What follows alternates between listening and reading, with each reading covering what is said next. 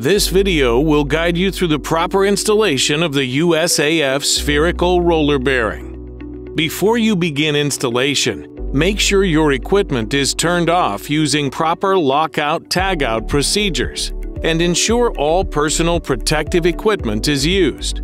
For technical details, refer to the instruction manual.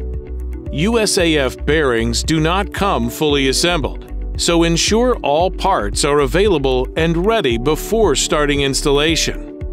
Inspect the shaft to ensure it is smooth, straight, clean, and within commercial tolerances. If needed, clean the shaft prior to installation. Apply a light coating of oil to the adapter area of the shaft. Measure the initial radial clearance of the bearings before mounting using feeler gauges. Record the clearance measured. Refer to the internal clearance table in the installation manual for reduction requirements based on shaft diameter. Slide the seal onto the shaft.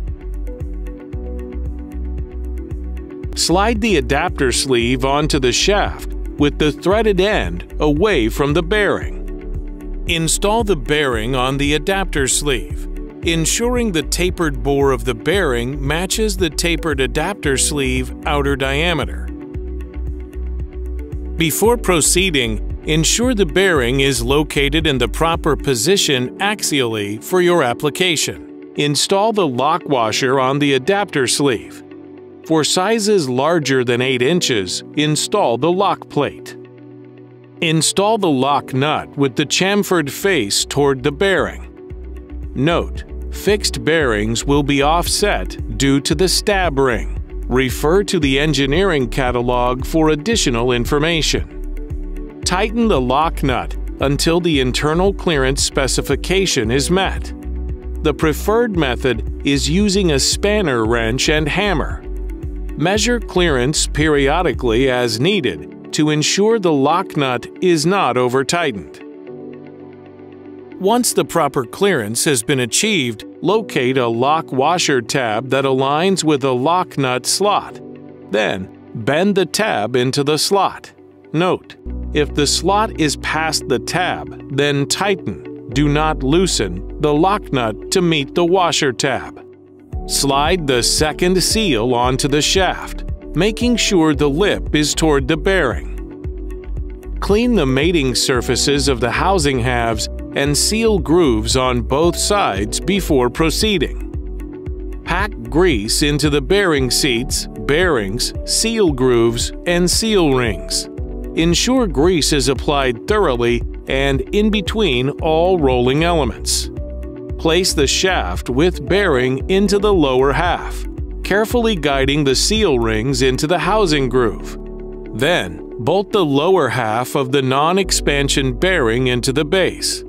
Position the shaft and bearing so the spacer ring can be inserted properly. For expansion bearings, the bearing will be located in the center of the housing bore. Each cap must be matched with its mating lower half, so ensure the serial numbers line up and match. Grease the housing cap seal grooves. Ensure the mating surfaces are clean. Then place the housing cap on top of the bearing.